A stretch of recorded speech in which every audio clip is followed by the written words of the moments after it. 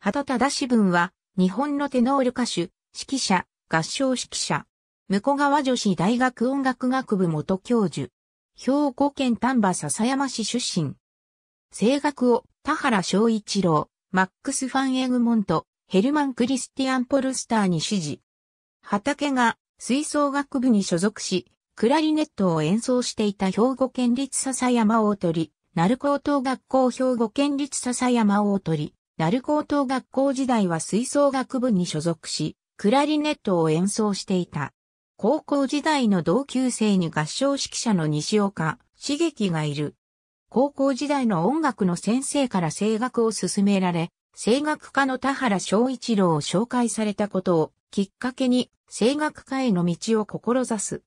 高校卒業後、1973年に大阪音楽大学音楽学部声楽会入学。1979年、同大の大学院を修了。1979年、大阪にて小林道夫の伴奏による初リサイタルを行う。その後もソリストとして活動を行い、ペーターダムやイエルクデームス等の世界的演奏者と共演した。1991年、オランダ・アムステルダムにおいて、バロック歌手として巧妙なマックス・ファン・エグモントの指導を受ける。2011年まで日本テレマン協会においてソリスト、テレマン室内合唱団指揮者、バロック、コアテレマンの指揮者を務める。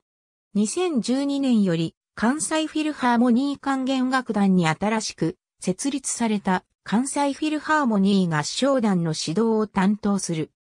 その他に、シューベルティアーデジャパン代表、丹波の森国際音楽祭シューベルティアーデ丹波、総合プロデューサー、甲子園の歴史と文化を守り育てる、会副会長などを務めている。AB、兵庫県文化賞受賞者、畑義文さん丹波新聞、奈良産業大学教授合唱団指揮者、西岡茂樹さん、関西フィルハーモニー合唱団設立。ありがとうございます。